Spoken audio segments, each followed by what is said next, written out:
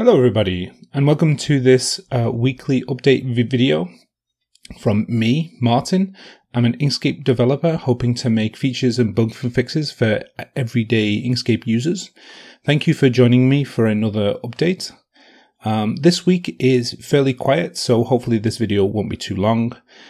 Uh, first of all, as usual, I want to give a big shout out and a big th- thank thank you to all of the people who uh, recognize the work that I do and want me to continue to try and make Inkscape better for them by joining me on Patreon uh, and supporting me through Liberapay. Uh, thank, thank you all so much. So uh, this week, first of all, I did some uh, Inkscape website updates. The forums now have an event calendar where you can see their new challenge updates that, that they want to do. And uh, I also added some uh, fun little peeps, which are random uh, avatars that appear instead of just the single avatar that we had before.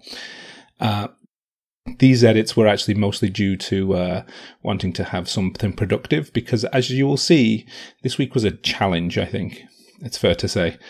Um, the actual accomplishment on the Inkscape codebase was I removed the layers dialog from Inkscape.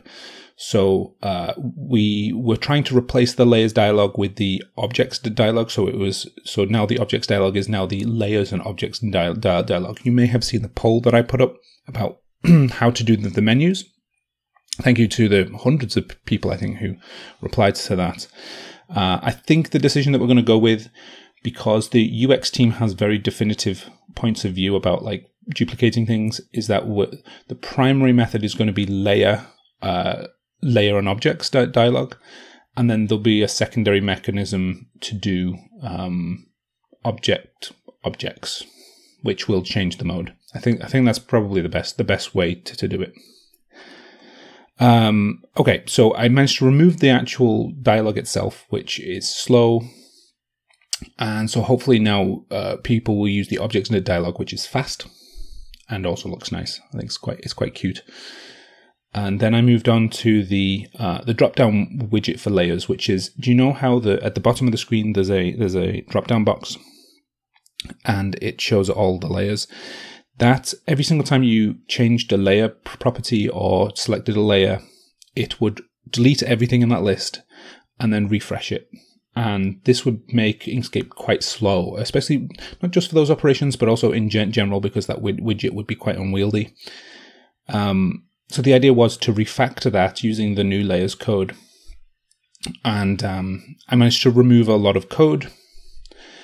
And then I managed to put in a whole bunch of code using some of the actually the same patterns from from from the new objects dialog. The problem is, and this is why this week was quite a challenge, was because uh, the thing about the objects dialog is that it's a tree. So conceptually, you can store the tree of layers, like layers within layers, within that tree, and the uh, data storage mechanisms help you. Whereas the drop down list at the bottom is not a tree, it is just a flat list. And so there's a lot of delicate maneuvering about repositioning uh, elements. And if you ever want to mess up a programmer, don't give them a technical problem. Give them a conceptual problem. And uh, yeah, in this case, it, it, it, completely messed with me because I, I was just trying loads of different things to see how it was possible to, you know, not have to refresh this entire list every single time uh, something changed.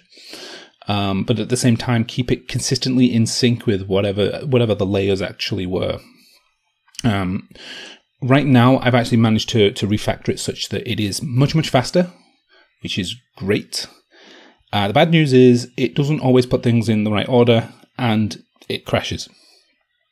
Uh, but one out of three is not bad, right? So I'm gonna have to figure that out to to to fix the conceptual problems between uh, the you know the tree model of layers and the flatness of this. It would have been easier if GTK, the widget frame framework that we use, allowed us to flatten uh, the the the tree view, the, what's known as a tree store. In, but it doesn't. What it does is it creates a special kind of uh, widget uh, drop drop drop down that has chil- children in it. uh, which is not what we want in Inkscape. We, we want a flat, like a relatively flat list that, that's kind of indented. So, oh, oh well. So uh, that's basically what I've been working on this entire week. Um, I will hopefully not spend the entire of next week on this because there's a lot more of more things to do. Uh, there was uh, uh, leadership meetings, a bunch of other meetings. Um, we have T-shirts for contributors; those are great. And um, yeah, things are ro- rolling along. Please let, let me know in the comments what you what, what you think. And um, thank you for jo- joining me this week.